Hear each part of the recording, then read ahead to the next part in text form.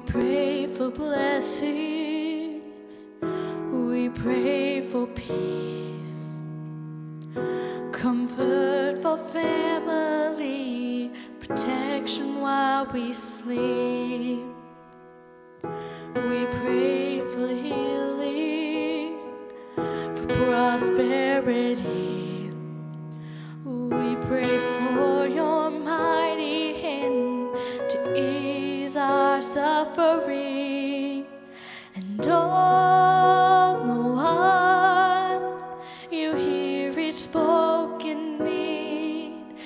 Yet you love us way too much to give us lesser things Cause what if your blessings come through raindrops?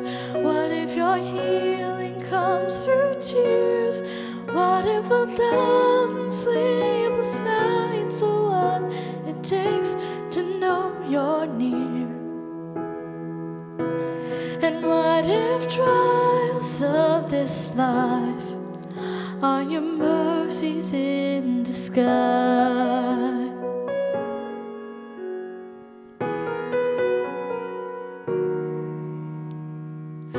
We pray for wisdom, your voice to hear. And we cry in anger when we cannot feel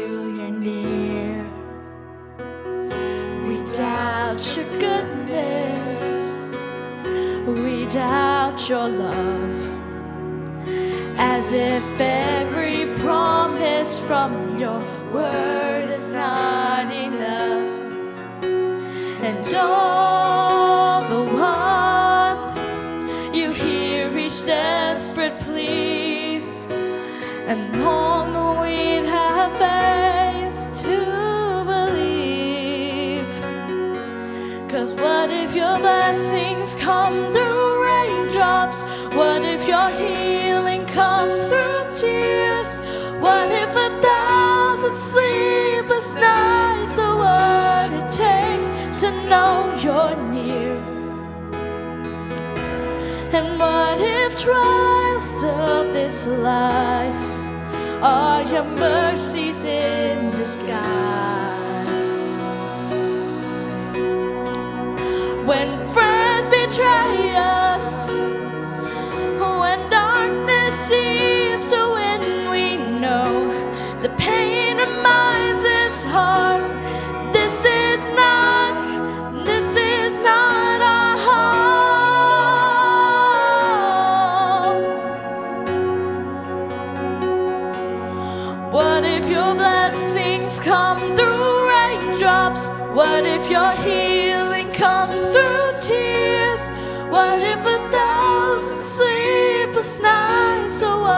What it takes to know you're near? What if my greatest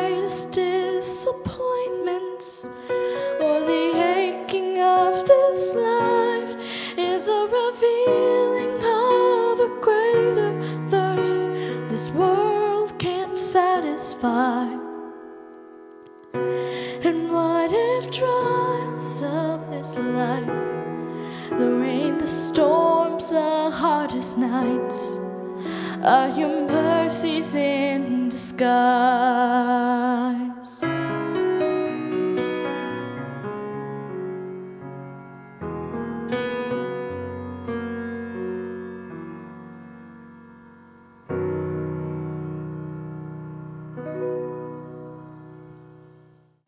Good evening. That was Elena Campbell singing Blessings. Elena is only nine years old, and she is one of the, um, the Lord is raising her up to be a mighty worshiper for Him. She's part of Brushstroke Ministries. Um, she's like worshiper in training. And um, she's also, well, I call her my niece. Uh, she's, I'm Aunt Jenny to her, and she is as much mine as mine could ever be. Um, I just appreciate that her willingness to come and serve the Lord in this way and to worship Him. She has a worshiper's heart. I remember when she was maybe three or four, we were rehearsing at my house for a, a CD we were doing, a worship CD. And we were singing this really powerful song. And she went, after it was over, she went to her mom who was sitting there with us, and she said, My stomach hurts. My stomach feels funny. She couldn't identify it at three or maybe three or four, but it was the Holy Spirit in her stirring because of the music. And we knew then that there was a special call on her life, and we're trying to nurture that call. I hope to bring her back in a couple weeks to do something else. I think we might do something together. Anyway, that was Elena Campbell, and I just appreciate her so much. Um, I hope you just appreciated that song too. Well, if you're tuning in looking for Greenbrier, once again, he is not here. He's not going to be here for the next four weeks, including uh, five weeks, including tonight. He's asked me to step in for him and do some Bible teaching and some sharing with you. I know it's tender loving care, and so I'm trying to do um, some devotions or some sharing with you about the way we take care of ourselves. I'm going to be um, teaching again out of my book called In Moments Like These. It's a devotional I wrote a couple of years ago, um, and it's talking about different moments of our lives moments of stress or moments of burdens, of trials or joy or needing strength or despair each of those moments is in is in the book. Um, I, I also have four more coming out in by May.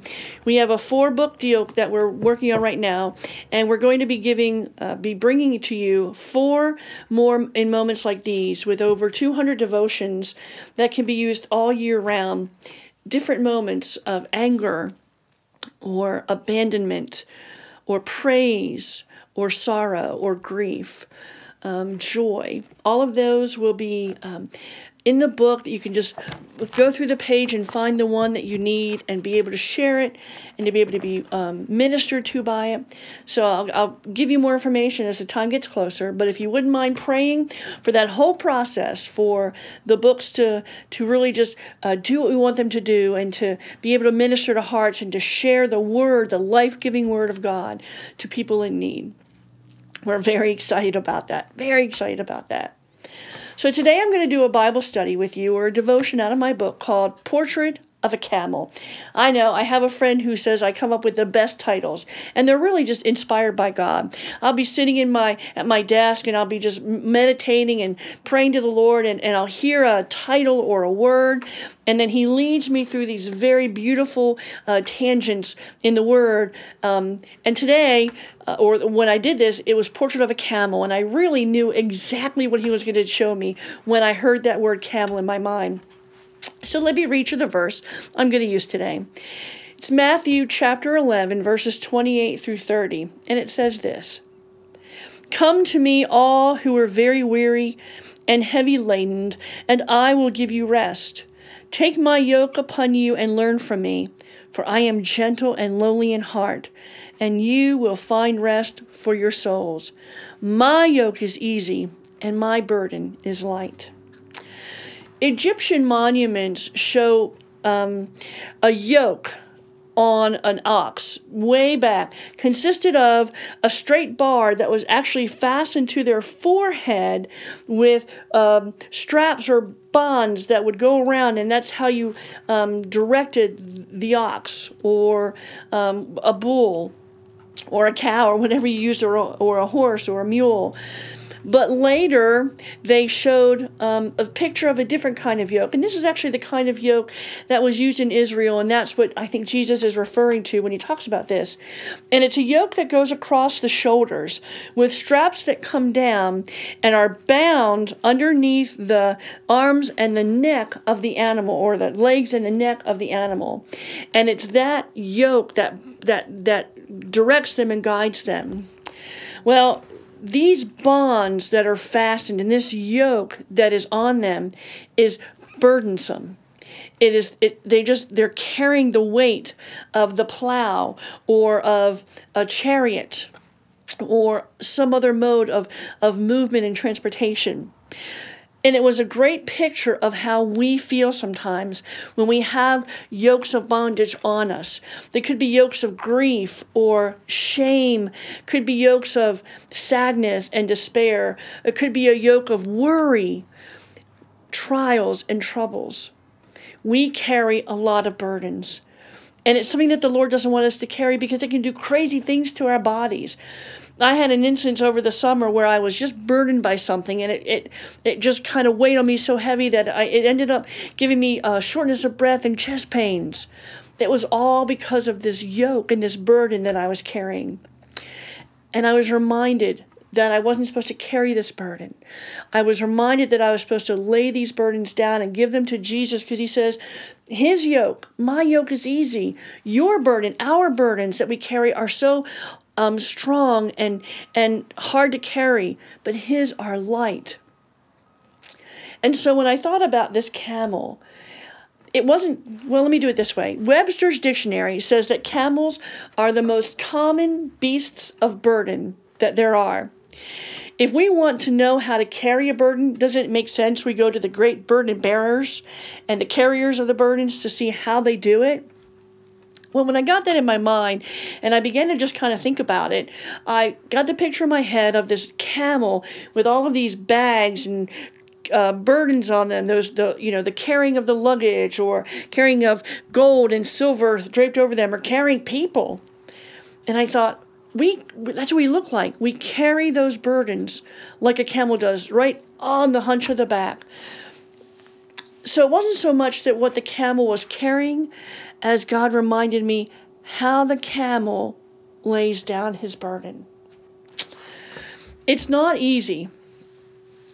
It's not easy. It is not easy to lay down our burdens. We want to hold on to them. We think that we can control them better when we hold on to them. We think that we can manage them if we hold on to them. We think that if we let them go, that they're out of our control, and, we wouldn't be able to to uh, deal with them appropriately and rightly.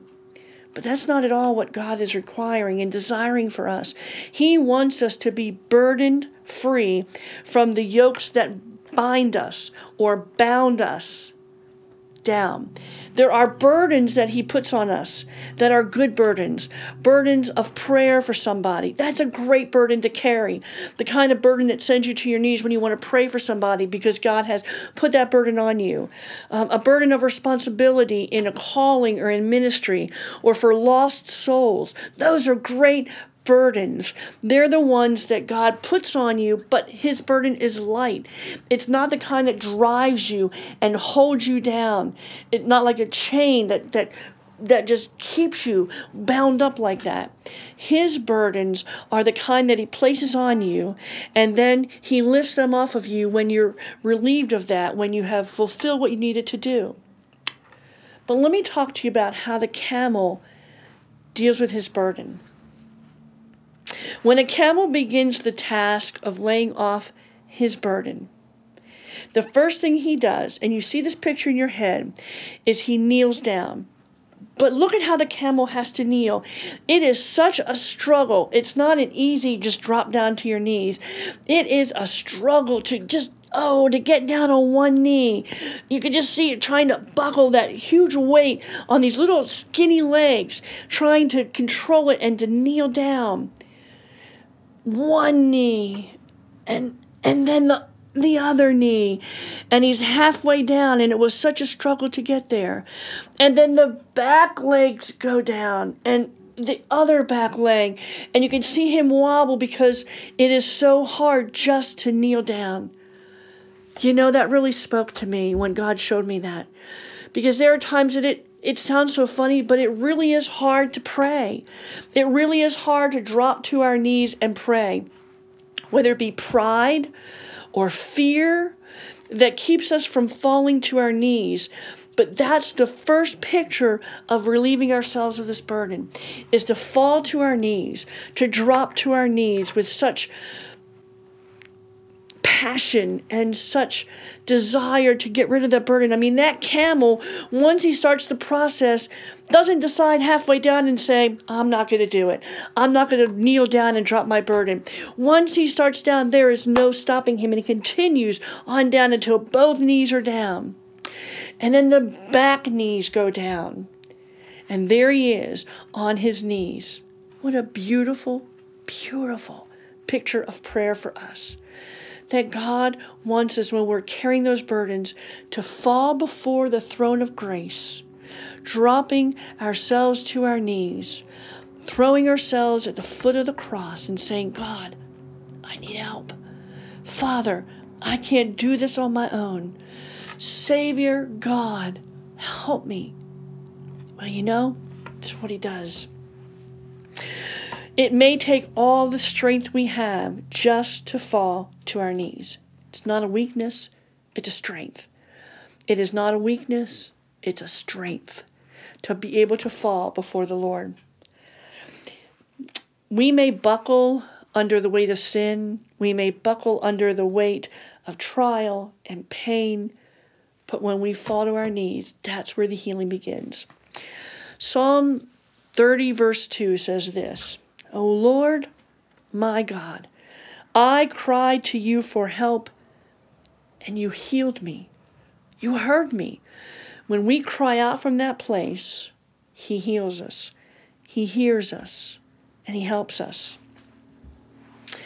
Now, once the camel is down, this is the crazy part of this whole camel picture. Once he's on his knees, here's what he does he rolls over, lays down, and what does the burden do? It's not taken off of him. It's not lifted off of him. It's not wrangled off of him. When the camel lays on his side and leans over, the burden, you got it, rolls off. The burden just falls off of him, rolls off of him. It is not taken off of him, it merely falls to the ground. Amen. When we get to that place that we are on our knees and we lay ourselves out before the Lord, then it, the burden just rolls off of us. There have been more than a handful of times when I have been in my place of my in my house that I call my altar. It's just a chair.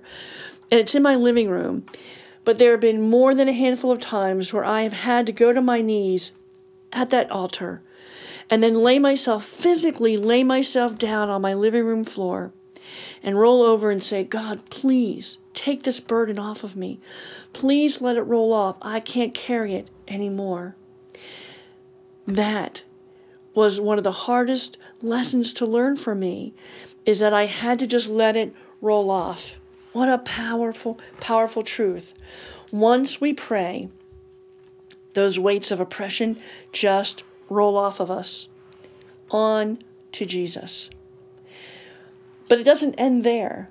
Because if you really think about what happens, the camel just gets right back up and not even remembering what he just laid down. He doesn't get up. Here, listen, he doesn't get up and turn around and look at the things that just dropped off of him. He doesn't stand back up and go about 20 feet and turn around and say, Oh, there are the burdens I laid down. I think I'll take them back up again. He doesn't stand back up and um, look around them and sniff around them. He doesn't do any of that. When a camel gets up after laying down his burden, he just simply goes on. He doesn't turn around. He doesn't remember. He doesn't meditate on what he just dropped.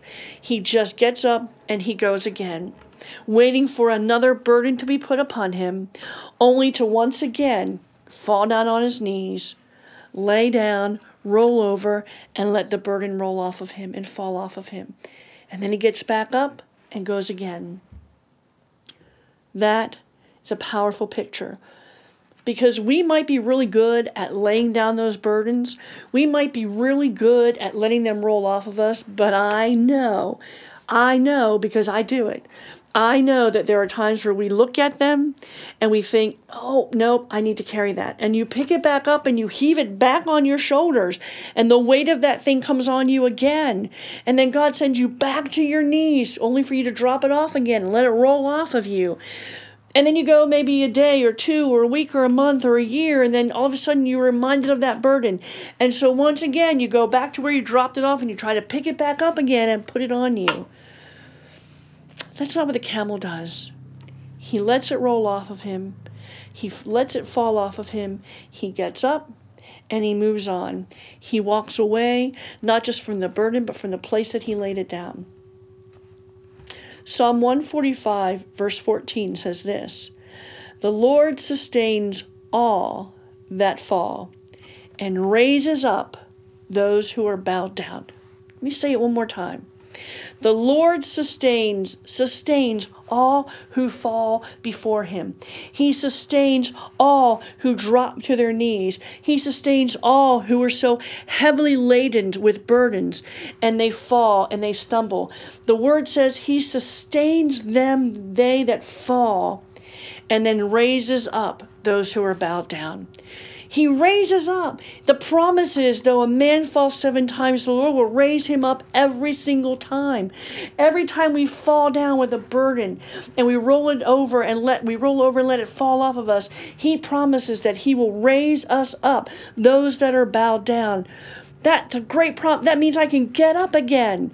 I can get up free and full of liberty and full of peace and and full of strength that I forgot that I'd had because the burden had taken so much of me. That's the power of the portrait of a camel. Not so much the way he carries the burden, but the way that he lets the burden roll off of him. Now, I know that there are many of you that are just overwhelmed with life job loss, death, grieving and despair, trials with children, um, broken relationships. I know, I know, because we have been in, I have been in the midst of a battle for months. And this is a reminder of what God wants from us that He doesn't want us to carry that burden. He wants us to lay it down. And I'm here to tell you, I'm here to beseech you and to ask you to lay that burden down for Him he doesn't want you to carry it. He wants you to be beautiful and healthy and strong. Let me read that verse out of Matthew one more time just to remind you about what he's trying to say. Listen, come to me. That's the first thing. Come to me, he says. You need to get to that place where you can come to him. And he says, All who are weary and heavy laden, and I will give you rest. Take my yoke upon you and learn from me, he says. For I am gentle and lowly of heart, and you will find rest. You will find rest for your souls. For my yoke is easy and my burden is light. Wouldn't you rather carry his burden, the lightness of his burden, than the heaviness of yours? And like I said earlier, he wants you to carry some burdens burdens of prayer, burdens for the lost, burdens for a loved one, but not to weigh you down, but a burden that will allow you to go to the throne on their behalf, a burden that will keep you focused on on them in the Lord, not trying to handle it yourself, but giving it up to the Lord. Those are the kind of burdens that he wants. I'm going to pray. I'm going to pray that those of you who need to just fall before the throne will not hesitate, that even even at this moment that you will fall to your knees, go to a place and drop to your knees and say, God, I cannot carry this burden anymore. I have to let it go. Because I want you to be able to rise up in victory and in triumph. Because we are more than conquerors in Christ. And those burdens, remember, can do crazy things to your body. They can make you feel depressed. They can rob you of your sleep. They can keep you from um, just going through life and doing what you what you want to do. They keep you from successfully and victoriously dealing with the problem. And it's not what he wants. He wants peace, strength, might, health, beauty, and power. And that is why we need to be like a camel.